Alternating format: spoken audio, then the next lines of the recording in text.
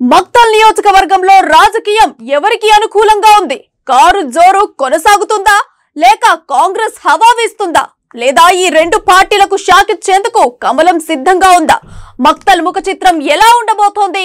మక్తల్ నియోజకవర్గ ప్రజలు ఎవరికి పట్టం కట్టబోతున్నారు?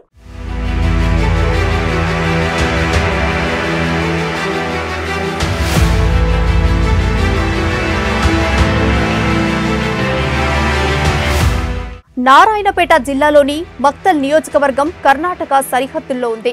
ఆ నియోజకవర్గం నుంచే కృష్ణానది తెలంగాణ రాష్ట్రంలోకి ప్రవేశిస్తుంది. మక్తల్ నియోజకవర్గంలో రెండు పాయింట్ నాలుగు ఐదు లక్షల ఓటర్లున్నారు. ఈ సెగ్మెంట్లో ఏడు మండలాలున్నాయి. మక్తల్ ఉట్కూర్ మాగనూరు కృష్ణ నర్వ ఆత్మకూర్ అమర్చింత మండలాలు ఈ నియోజకవర్గంలోకి వస్తాయి.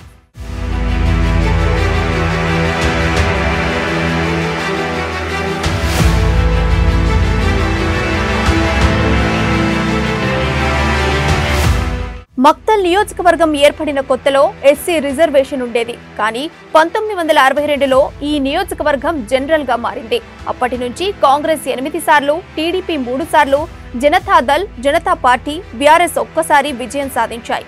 మక్తల్ నియోజకవర్గంలో రెండు వేల పద్దెనిమిదిలో మాత్రం నియోజకవర్గ చరిత్రలోనే మొట్టమొదటిసారిగా టీఆర్ఎస్ విజయ దుందుబి మోగించింది.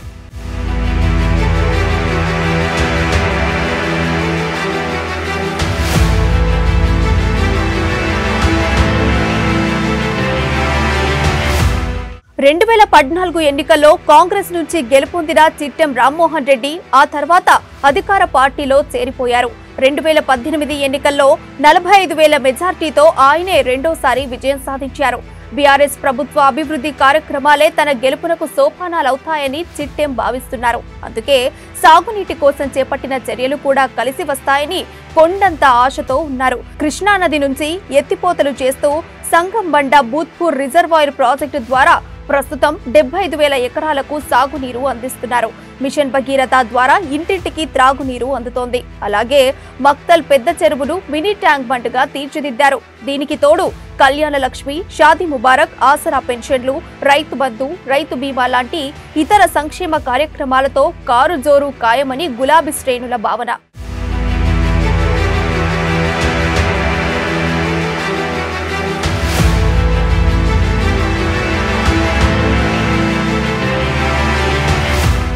మక్తల్ నియోజకవర్గంలో చెప్పుకోవడానికి అంతా బాగానే కనిపిస్తున్నా క్షేత్రస్థాయిలో మాత్రం పరిస్థితి బీఆర్ఎస్కు అనుకూలంగా లేదనే వాదన వినిపిస్తోంది. చిట్టెం కుటుంబం దశాబ్దాలుగా రాజకీయంగా ఉండడంతో కుటుంబ పాలన అనే విమర్శలు వెల్లువెత్తుతున్నాయి. ఈ నేపథ్యంలో రెండు వేల ఇరవై మూడు ఎన్నికల్లో మక్తల్లో హోరాహోరీ పోరు తప్పదన్న అంచనాలున్నాయి.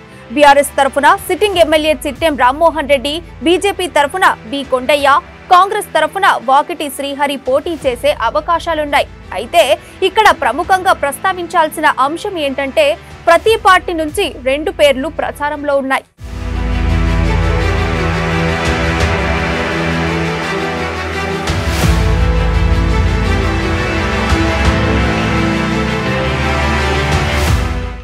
బీఆర్ఎస్ నుంచి చిట్టెం రామ్మోహన్ రెడ్డితో పాటు వర్కటం జగన్నాథ్ రెడ్డి టికెట్ను ఆశిస్తున్నారు.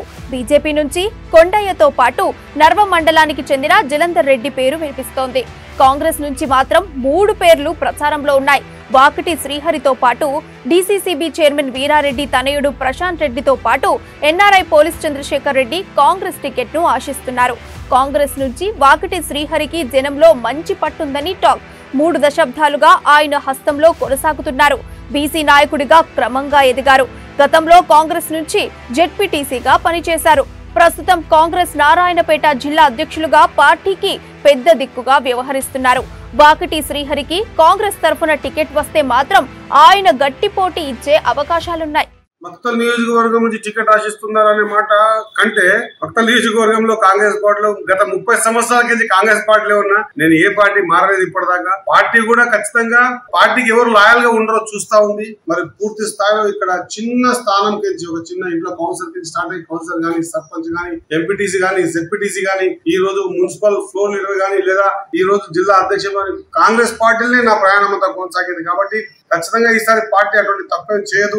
వైఎస్ఆర్ఏ తప్పు చేసి అలయన్స్లో ఇవ్వడం జరిగింది. ఎందుకంటే రెండు వేల పద్నాలుగు గెలిచిన ఏకైక సీట్ మక్తల్ సీట్. మిగతా నాలుగు టీఆర్ఎస్ రెండు టీడీపీ గెలిస్తే మక్తల్ సీట్ కాంగ్రెస్ గెలిచింది. ఆ సీట్ని అలయన్స్ ఇచ్చి ఇది అది పోగొట్టుకోవడం జరిగింది. ఈసారి మాత్రం ఖచ్చితంగా కాంగ్రెస్ పార్టీ పొరపాటు చేయరు ఆశించడంలో నాకు హక్కుగా ఉంది. నేను హక్కుగా ఆశిస్తా ఉన్నా. అధిష్టానం నిర్ణయం తీసుకుంటది కానీ నేను అయ్యా నాకు కూడా ఒక అవకాశం ఇవ్వండి నేను కూడా ప్రజలకు సేవ చేస్తా అని చెప్పి విషయాన్ని మా అధిష్టానానికి తెలియజేయడం జరిగింది. ఈసారి కాంగ్రెస్ పార్టీ కూడా పూర్తి సర్వేలు చేయించి సర్వేలలో ఎవరైతే బాగుంటుందో అని చెప్పేసి ఆలోచన ముందుకు పోతా ఉన్నారు ముఖ్యంగా బీసీలకు ఈసారి కాంగ్రెస్ పార్టీ పెద్ద పీట వేస్తా ఉందన్న నమ్మకం నాకుంది. ఖచ్చితంగా అది ప్రియాంక గాంధీ గారు చెప్పారు రేవంత్ రెడ్డి గారు చెప్పారు రాహుల్ గాంధీ గారు చెప్పారు కాబట్టి ఇప్పుడు మా తెలంగాణకు వచ్చినటువంటి ఇన్ఛార్జ్ మాణిక్రామ్ ఠాకరే గారు కూడా బీసీలకు ఎస్సీలకు పెద్ద స్థానం కల్పిద్దామనే ఆలోచనలో ఉన్నారు కాబట్టి బీసీల చూపు కూడా కాంగ్రెస్ పై ఉంది.